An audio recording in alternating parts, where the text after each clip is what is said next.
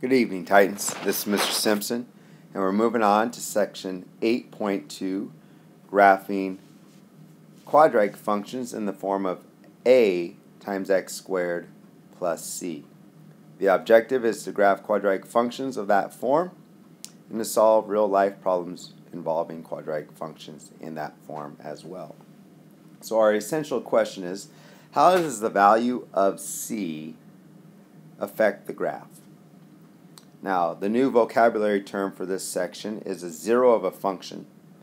And the zero of a function is the value of x that makes the function f of x equals zero.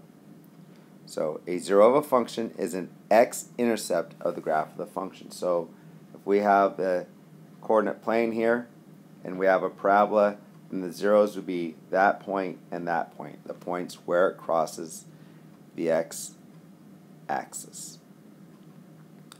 So first of all, the core concept is graphing f of x equals a times x squared plus c. Now we've already talked about how the value of a affects the graph. And so what we're showing you now is if we have a plus c at the end, then it's going to shift the graph up. Okay, that's a vertical shift up, as you can see by the green graph.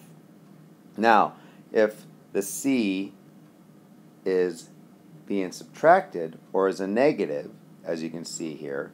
So if we had f of x was equal to 2x squared minus 5, well, this minus 5 would make it go down.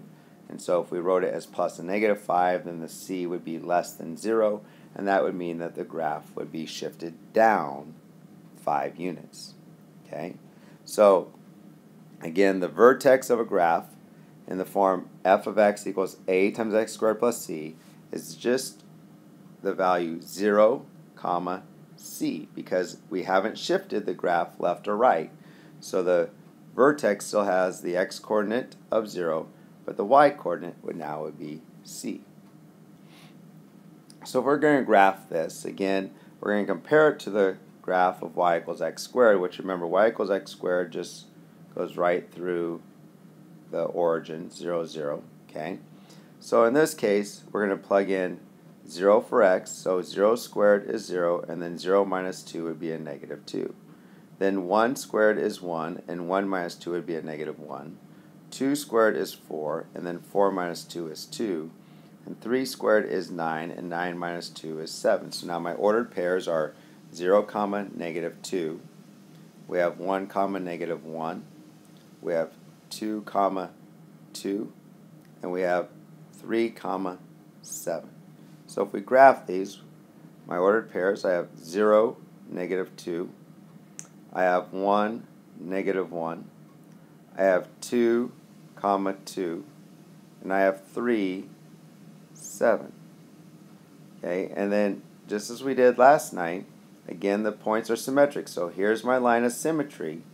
So I have a point over here, a point that matches up right over here, and then the other point that matches up here. So now I have my graph. Okay?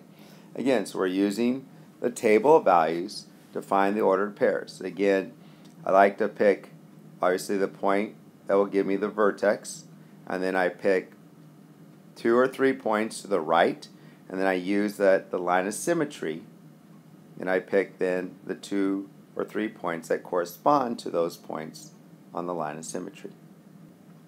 So again, just a few more examples here. So if we graph g of x here of x squared minus 5, again I plug 0 in for x, I get 0 squared, 0 squared minus 5 is a negative 5.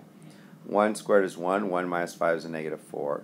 2 squared is 4, 4 minus 5 is a negative 1. 3 squared is 9, and 9 minus 5 is 4. So again, my ordered pairs are 0, comma, negative 5, 1, comma, negative 4, 2, comma, negative 1, and then 3, comma, 4.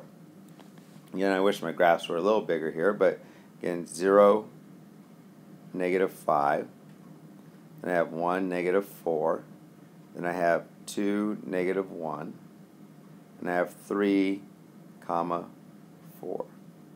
And then again, I pick the points that are symmetric to them on the other side, and I make my graph. Again, notice how the minus 5 shifts my graph down 5 units. Okay, shifts it down 5 units. This one would just shift the graph 3 units. So again, I could just go to 0, 3, then I know it's that same shape. So over 1, up 1, over 2, up 4, over 3, up 9, and get my graph the same way. Okay. Again, plus 3 just moves the graph up 3 units.